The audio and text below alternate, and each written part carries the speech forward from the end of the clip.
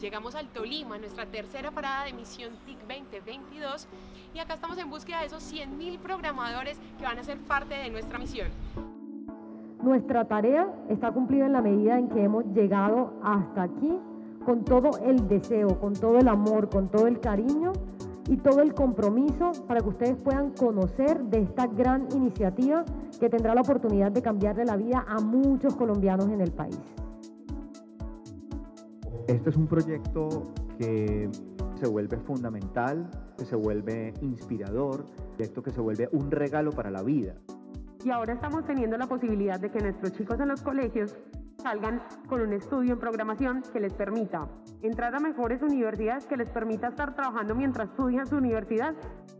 Contamos con todos ustedes, esperamos poder volver y que no sean cinco, sino más de 100 las personas que estén vinculadas. Les doy la invitación para que ustedes eh, entren y se informen más.